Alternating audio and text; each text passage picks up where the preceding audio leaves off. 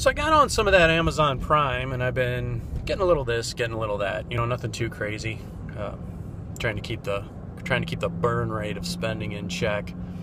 But part of the Amazon Prime membership includes streaming video, which I hadn't really used for much until I came across the Band of Brothers series on there streaming, man. On demand Band of Brothers. The story of Easy Company and the 101st Airborne. Directed by Tom Hanks, man. Produced by Tom Hanks and Steven Spielberg. I'll tell you what, just just when I think that I may know a little something about how to put together a story, you watch something like that. It's it's really good.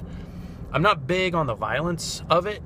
I mean, obviously the violence is part of the story, and um, and it is what it is. It's certainly in an historical context, but wow, what a great series! And I don't know what it is about World War II always having appealed to me either from the the technology or no, it couldn't be the technology.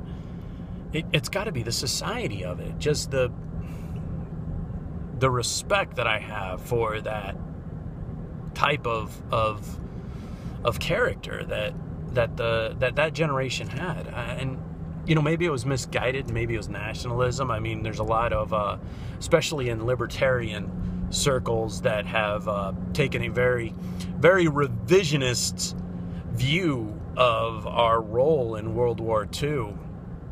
But I don't know that that respect for me is still there. You know, maybe even, maybe even from my, um, you know, towards my grandfather and the people that I've known, just having respect for them translating to having respect for that that entire period. Anyway, should you have the opportunity to check it out on Amazon Prime or any way you can, man, Band of Brothers, if you haven't seen it, do so. Let me know what you think. We've been your daily dose of Lamb Dog.